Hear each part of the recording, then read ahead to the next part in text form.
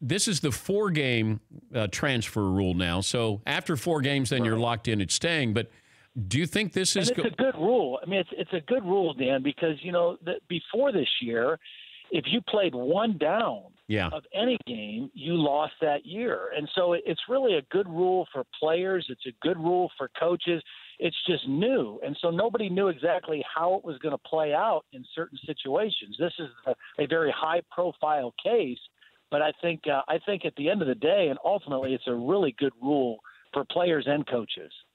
But Dabo Swinney could have strung Kelly Bryant along. I, I don't know if you've talked to Dabo yet, but I'm curious. Yet, no. But I'm curious if like did he do the right thing for this for his kid, but not for his team?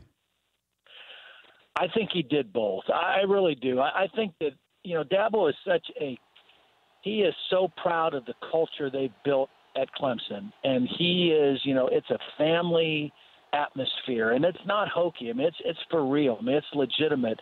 And I think he did what he felt he had to do in the best interest of one of his players who he cares deeply for, in Kelly Bryant.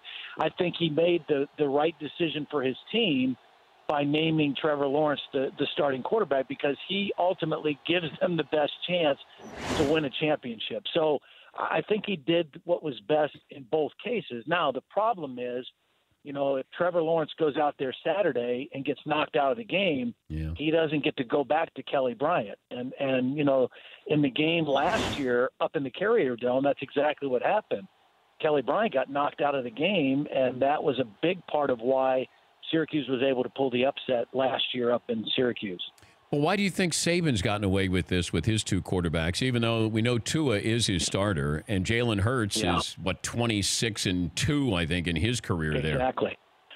I think that's a, a question that only Jalen Hurts can answer. I don't think this was I don't think this was Nick Saban handling the situation any differently than than Dabo or or being deceptive in any way. I think this is more of a case of Jalen Hurts saying, "Hey, I'm going to stick this one out. I'm not going to redshirt and transfer at the end of this year." Now, here's the the important distinction between Jalen Hurts and Kelly Bryant, and and most people, you know, you got to just make sure you understand this.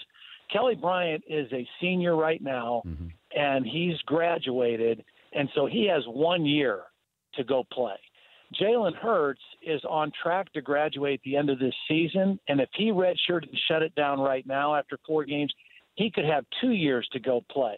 So even if he decides I'm going to stay as the backup, and if they need me, I'm here and going to try to win another championship with Alabama, he can still graduate, be a graduate transfer, and go somewhere for one year if he wants to do that. So he's in a little different situation because he still has that extra year at the end. For more Dan Patrick Show, tune to Audience Channel 239 on DirecTV or download the Dan Patrick Show app.